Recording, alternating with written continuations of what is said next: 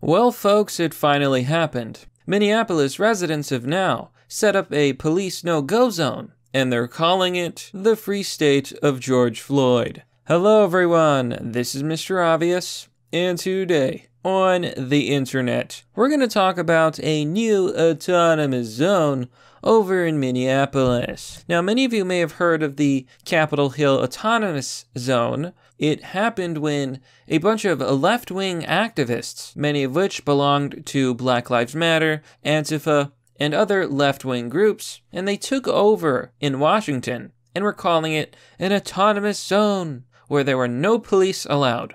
A similar thing is happening in Minneapolis. Here you can see on Twitter. Kyle Hooten says Minneapolis residents have now set up police a police no go zone, and it looks like they're calling it the Free State of George Floyd. So you can see here in the following tweet, you can see this sign, and it says, You are now entering the Free State of George Floyd.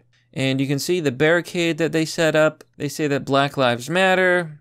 They're saying some very rude acronyms that basically is a slur against cops. They're saying eat the rich because a lot of these people are communists. Now we're going to talk all about the free state of George Floyd. But before we get into this, please remember to like, comment, and subscribe, and hit the bell button for updates so you never miss this content. And if you like this video and enjoy the content that I produce, please share this video online and with others. And now a quick word from our sponsor, Double Tap Audio.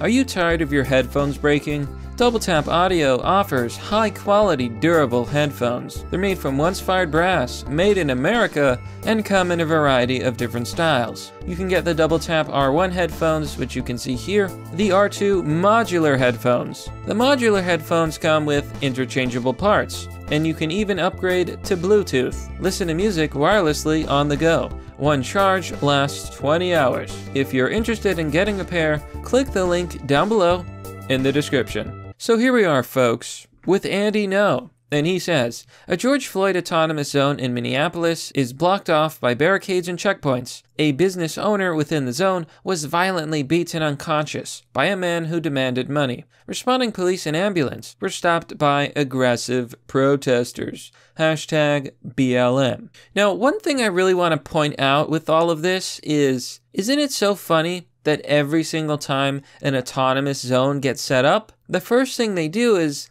build walls. It's almost like walls actually work. It's almost like, in order to have any sort of state or nation or let's say country, you need walls around it to protect your borders. Do you want to build a wall? I, I guess they're all Trump supporters. Travel around the four block autonomous zone. The fortification is right there at every intersection. Messages aimed at police with the George Floyd Memorial right in the heart of the zone. Getting in and out is not as simple as just driving or walking through those barricades. So, as you can probably tell, a group of citizens are policing this zone, and it's not very good for businesses. A business owner, for example, was violently beaten unconscious by a man in the zone who was demanding money. And we saw the same thing in Chaz. What ended up happening was not some left wing socialist anarchist utopia, it turned out to be gangland. And these groups would go around and they would, uh, well, Simply put, they would extort businesses for protection money, kind of like the mob. Now, unfortunately, there already has been a victim, and he's speaking out against the George Floyd Autonomous Zone. Here's a little bit of the clip. Can the police come in here? Do you see the police in here? No. I don't see any police, and I'm telling everybody any area without law, you cannot live in it. It all starts August 5th when this man enters Dan's Auto Body Garage in the middle of the zone around 5:40 p.m. You can see the suspect walking into the shop's office. He trashes a desk and then demands money.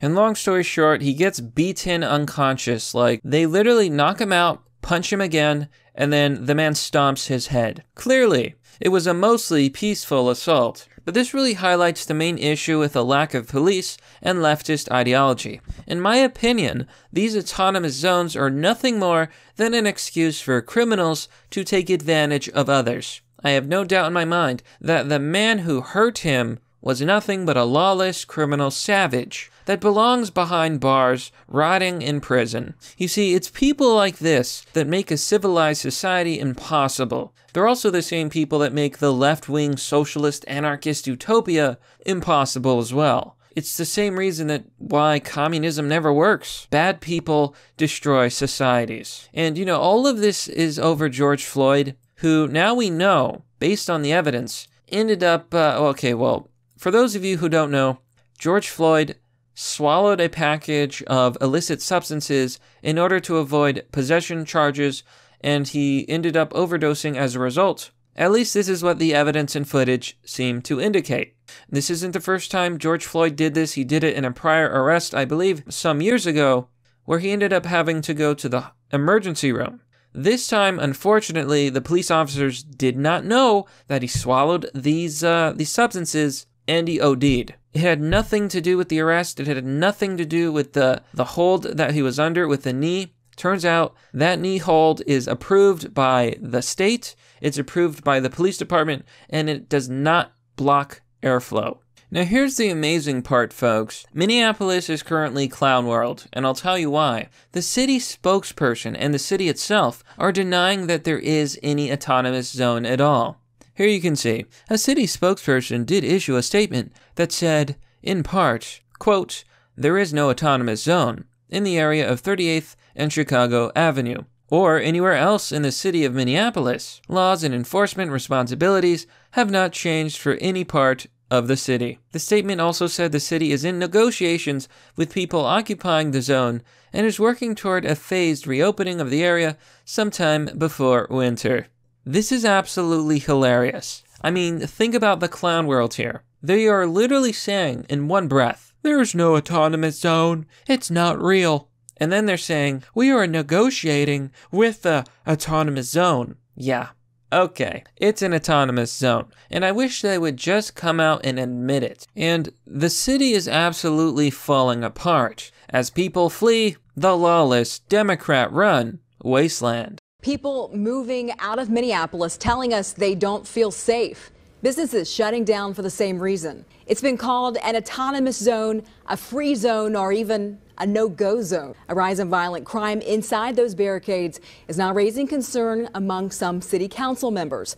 The business owner who was assaulted had a broken cheekbone, his teeth were missing, he had stitches in his head, and he was knocked out.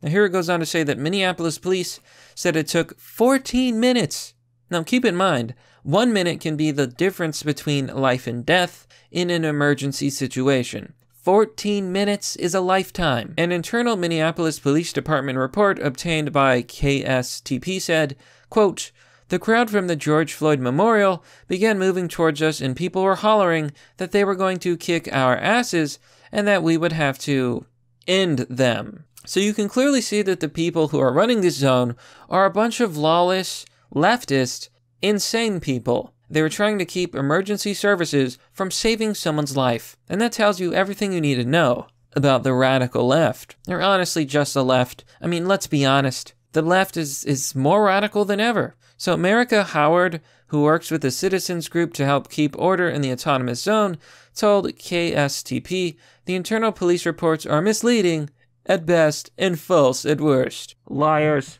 Yeah, they're absolutely lying. I don't believe them for a second. You know, I've been seeing a lot of this from the left lately. There is no autonomous zone. Oh, yeah, there's no war in Ba Sing Se either. But that, my friends, is pretty much the story. I think it goes without saying that these autonomous zones need to be shut down. We cannot have lawlessness in our country.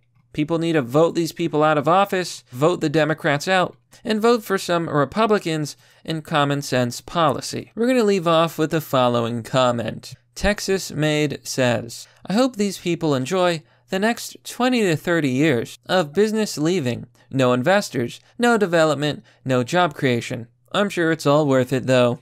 But that, my friends, is merely the obvious. Well, that's all for now, folks. What do you think about this story?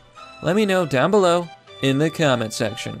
As always, you can support my channel by joining me on Patreon or Subscribestar. If you want to donate, visit my donor box page or send me crypto. I'm accepting several currencies, and let me know if you want another one added. Another way to support the channel is to visit my merch store or one of my sponsors. I have a great selection of sponsors with a variety of products you'll love.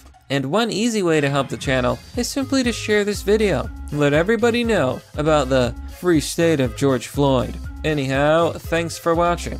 This has been Mr. Obvious, and I'll see you all next time.